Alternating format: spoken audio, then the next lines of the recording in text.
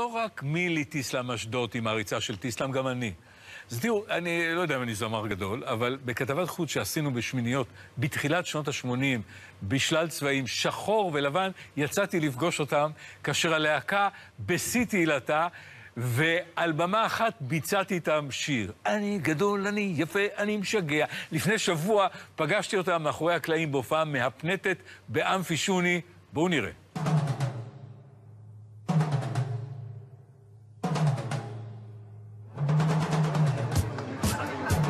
עוד שנייה זה מתחיל. הקהל נכנס, הבמה כבר שם, 35 שנה אחרי.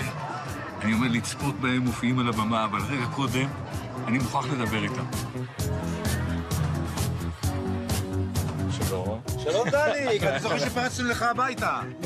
נכון? אני לא זוכר. לגמרי, לגמרי. הנה דליק הגיע. היה לך. יואו, אתם לא יודעים כמה אני מתרגש. כן, היה לי. אתם לא יודעים כמה אני מתרגש. אני מגמגם, אתם מבינים? אני מגמגם.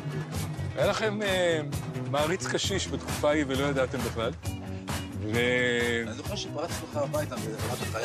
זה כל מה שהוא פרצתם זוכר, אליי אגב, הוא חוזר הביתה, על זה כל הזמן. אני פרצתי לכם לחדרי הלבשה, בקיצור, הקו נורא. ואני זכיתי למשהו שאף מעריץ לא זכה. אני שרתי איתכם על הבמה. מישהו זוכר את השיר? אני גדול, אני יפה, אני משגע.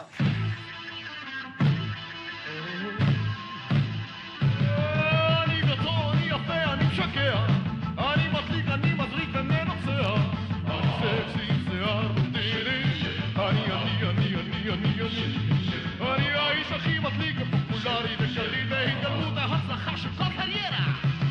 אני, אני, אני, אני, אני.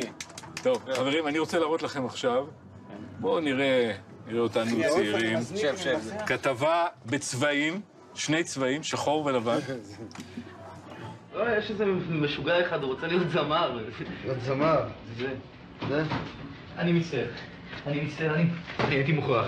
אני הייתי מוכרח לדבר איתך אישית, הם לא נותנים לי, הם לא נותנים לי. אני אני יודע שזה לא פעם ראשונה, אתה מוכרח לעזור לי.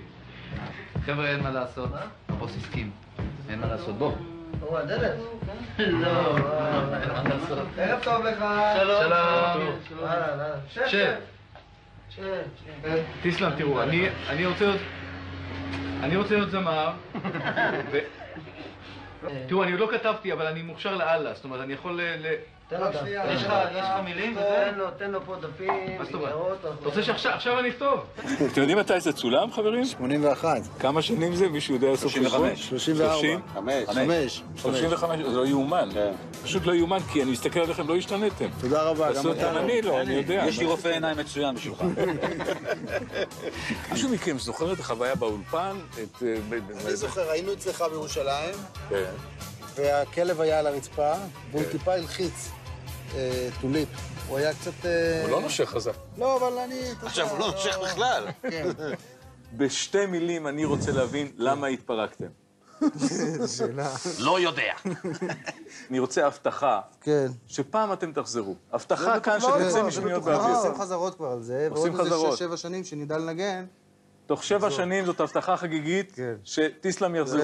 שבע שנים, שבע שנים. תגידו, עכשיו אתם מתרגשים לקראת ההופעה? אה, יש איזה מתח קל. לא יודע, התרגשות, אבל מתח קל.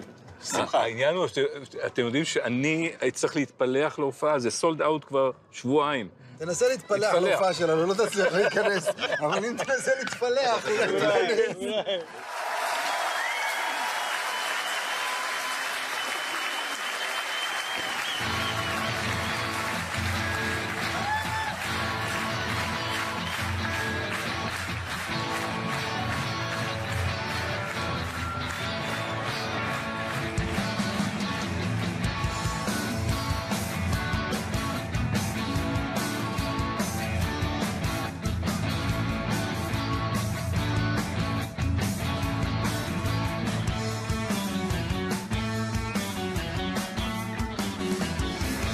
יושב בבית מול האש שבעה, הקריינית נטפת לי על המסע, אוכל ציפורת זה לא הגיוני, אני יודע שזה לא מקומי, אני לא מחפש לי עמדה של כבוד עוצמה, אבל יש עוד מקום שאוהב בו. להיות משום מה,